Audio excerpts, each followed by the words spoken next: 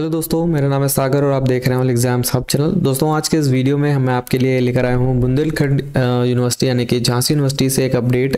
जैसा कि आपको पता है कि यहाँ पर असिस्टेंट प्रोफेसर का रिक्रूटमेंट चल रहा है और यहाँ पर 26 तारीख को असिस्टेंट प्रोफेसर का एग्ज़ाम कंडक्ट कराया गया था, जिसके बारे में मैंने आपको पहले इन्फॉर्मेशन दी थी।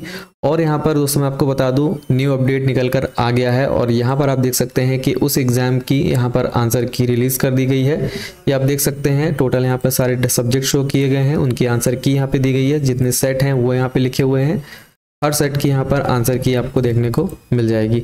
और साथ ही यहाँ पर आप देख सकते हैं फाइनल जो रिज़ल्ट है ये देखिए वो भी यहाँ पर रिलीज़ कर दिया गया है। आप चेक कर सकते हैं कि किस सब्जेक्ट में यहाँ पर कौन कौन लोग सेलेक्ट किए गए हैं। यहाँ पर आप देख सकते हैं किस सब्जेक्ट में कितना स्कोर जो है लोगों को मिला है और किस बेसिस पर जो है आ, कौन से सेट में वो लोग सेलेक्ट हुए हैं। आप देख सकते हैं टोटल तेरह पेजेस का ये पीडीएफ है इसमें सारी जानकारी आपको दी हुई है।